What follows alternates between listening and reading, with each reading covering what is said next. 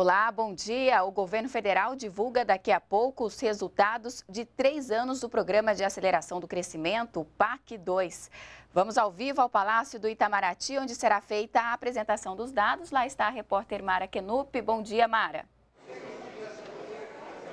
Bom dia, Malu. Bom dia a todos. Malu, daqui a pouco vários ministros vão se reunir aqui no Itamaraty para divulgar os valores dos investimentos do PAC 2. São resultados em várias áreas, como o setor de habitação, mobilidade urbana, energia, saneamento, transporte.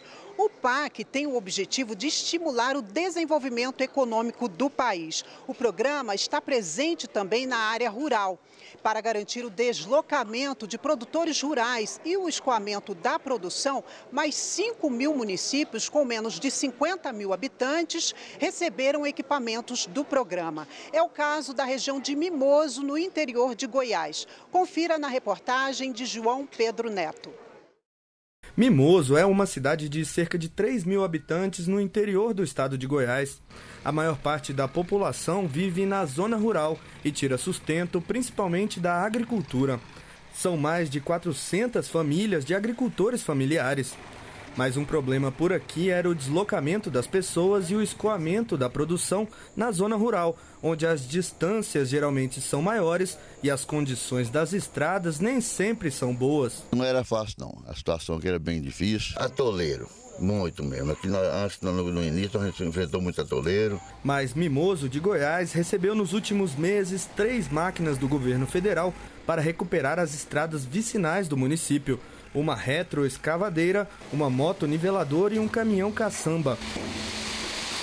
São máquinas como essa que fazem o trabalho de nivelamento do solo, cavam valas para evitar o acúmulo da água e compactam o chão. Esses equipamentos ajudam a melhorar a mobilidade na zona rural do município, conservando estradas por onde passam pessoas, alimentos, produtos, remédios e transporte escolar as estradas elas estavam todas danificadas. Isso prejudica o quê? O escoamento de produção. Ah, o município de Mimoso é um município que produz muita soja, milho, né? Então isso vem ajudar o grande produtor a escoar sua produção, ao pequeno produtor também, o agricultor familiar que depende das estradas também para a sua sobrevivência.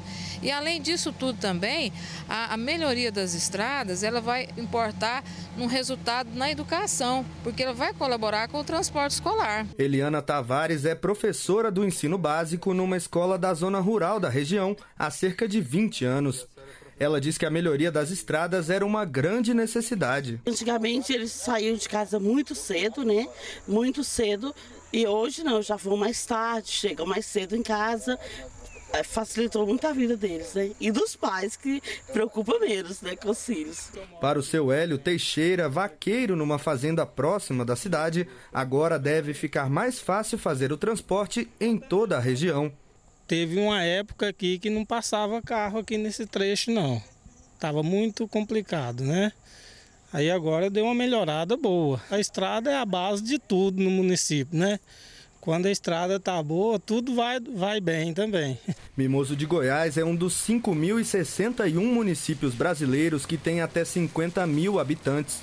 Todas essas cidades receberam do governo federal pelo menos um equipamento para conservação de estradas vicinais. A ideia é entregar todas as 18 mil máquinas, que custaram cerca de 5 bilhões de reais, até o final desse semestre.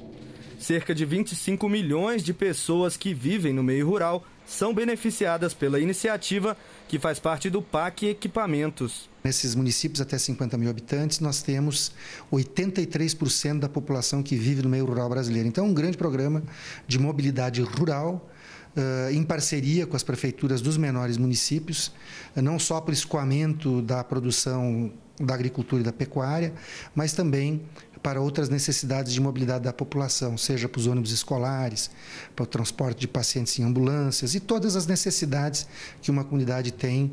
Uh, Uh, enfim, de mercadoria, serviços. Né? Então, um grande programa de mobilidade urbana. No Nordeste, com a, o caminhão-pipa e, o, e a pá carregadeira, também permitirá uma atuação de segurança hídrica nesses municípios.